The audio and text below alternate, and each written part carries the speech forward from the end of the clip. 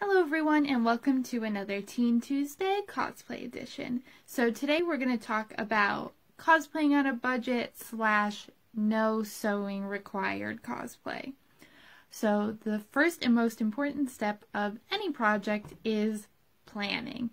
So when you start planning your cosplay, the first thing you're going to want to do is gather a lot of reference pictures.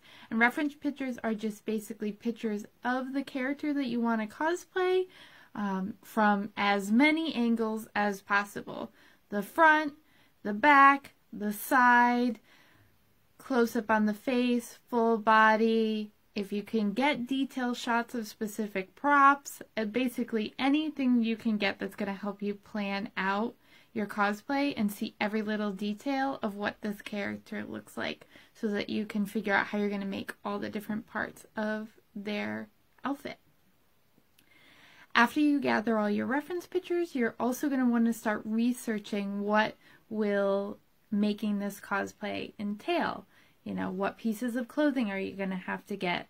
Are you going to have to change them in any way? Or can you buy a piece of clothing that looks pretty much exactly like what that character wears? Um, and also props. How are you going to go about making that? What materials are you going to need?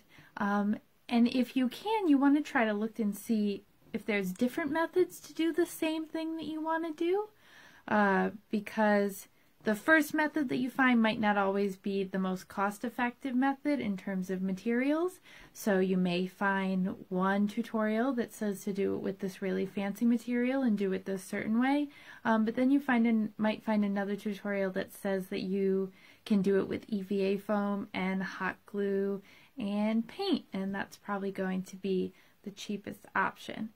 Um, you also want to look and see if uh, there is a pre-made, like fully already assembled cosplay out there for you to buy, um, most likely online, uh, and see how much that costs. It, if you look at the price of that and you look at the price of all the materials that it's going to take to make the cosplay by hand, sometimes that math just turns out in the favor of buying the cosplay, and there's nothing wrong with that. So once you've done all your planning and you have a plan of attack for putting your cosplay together, um, you're going to want to look for the clothes that you'll need for the cosplay. So shopping for clothes for cosplay, first, shop in your closet. You may already have some great pieces that could turn into great cosplays down the road. Um, there are a lot of characters who wear everyday outfits just like you and I do jeans, t shirts, jackets, all normal pieces of clothing that you might already own. Um, and like I talked about last Tuesday, we call this closet cosplaying because you make the cosplay out of the things in your closet. And some examples of some really simple character designs that can be easy closet cosplays is Misty from Pokemon. She just has that yellow tank top and the shorts, and red suspenders would be the only kind of like specialty thing that you might not already have in your closet. Um, the Doctor from Doctor Who. Uh, there are several different iterations of the Doctor that all have pretty simple outfits. Uh, a leather jacket for the Ninth Doctor, a suit for the 10th Doctor, dress shirt and bow tie for the 11th Doctor, a Winry from Full Metal Alchemist. She's got that kind of cropped uh, no sleeve top and some like work pants, bandana around her head. And many, many superheroes have their alter egos, their everyday personas that um, have everyday outfits just like you and me. Also, here I want to talk about Disney bounding and casual cosplay.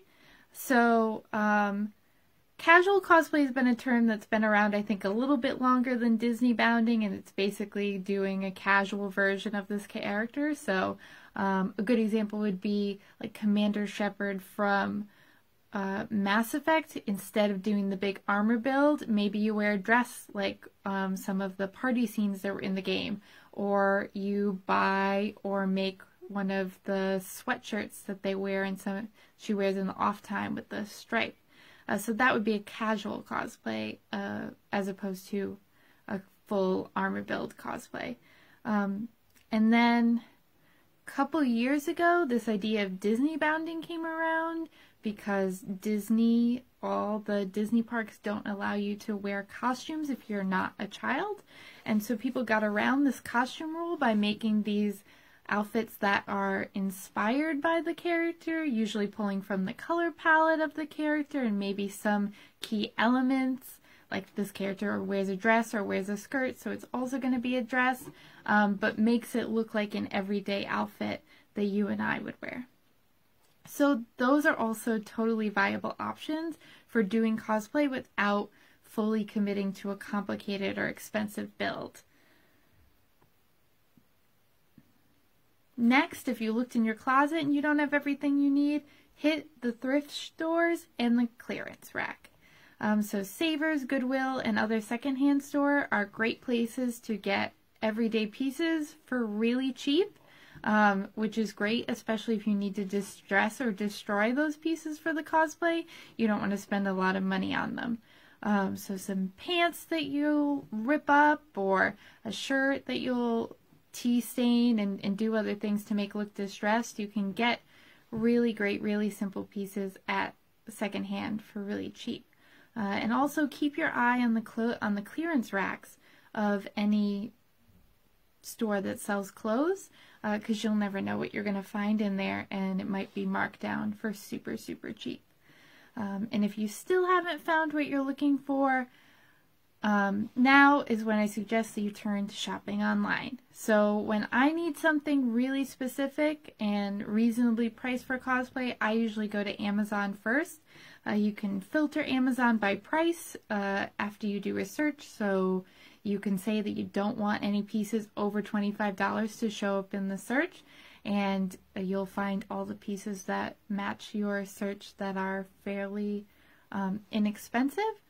Um, and I've found tons of stuff. Um, this cosplay is a great example. I think this jumpsuit, um,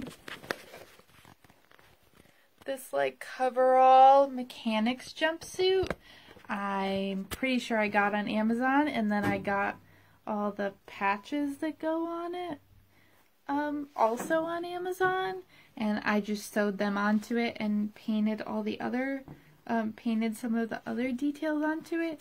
And then this shirt, I think I got like from Walmart or from the craft store where they have all of the like plain t-shirts. And then I just used paint to paint uh, like in a stamper to do different colored flowers all over the whole shirt. So something like this where it's like, this is really specific, um, you might want to search online.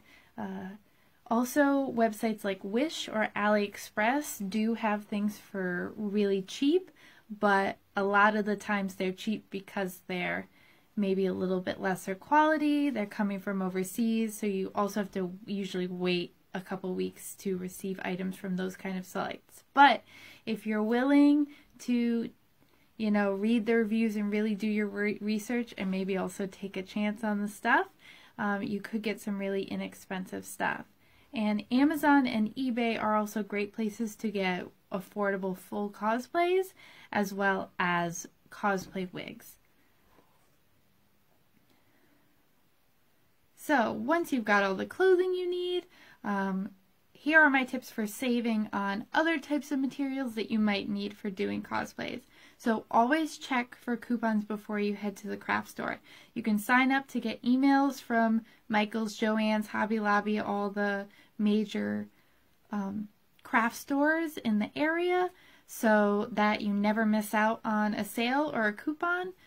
And um, but you also can just look at their site before you go in the store and double check and there's usually some type of coupon out so you want to take advantage of that and then in terms of the type of material, EVA foam, which is another word for all the various thicknesses of craft foam. Craft foam usually refers to in the craft store, you see those sheets. They're usually an 8.5 by 11, but sometimes you can get big sheets or even rolls of it that's really, really thin.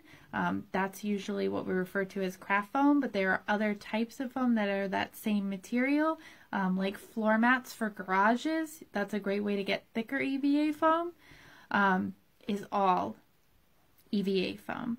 And that's usually super cheap. Uh, Job Lot will sometimes have sales on the floor mats for garages. So uh, you head over there when they've got a sale on it. You get a bunch way ahead of time. And really affordable material to work with. And as well as like hot glue, PVC pipes usually are not terribly expensive to get if you need some type of um, staff or strong cylindrical base for a prop, a, a handle, or something like that. Um, all of the and other really low cost materials can go a really long way. You don't have to shell out to get Worbla or another brand of thermoplastic just to make a cosplay that looks awesome. Uh, see, like this prop right here, this umbrella, uh, was a cheap, you know, plain white parasol that I got on Amazon, and then I painted the design on it by hand with just acrylic paint. And so it was something that was pretty cheap to put together, and I think it looks awesome.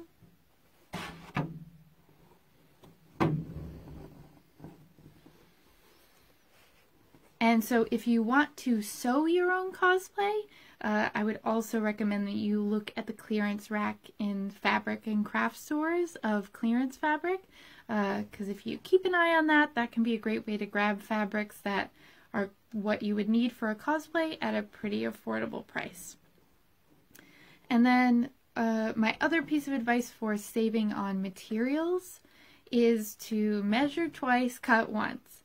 So if you make sure that you know exactly how much material you need for a project, you can avoid buying too much of a material or not buying enough and having to go back and buy it buy more of that material possibly when it's not at the sale price that it was when you originally got it.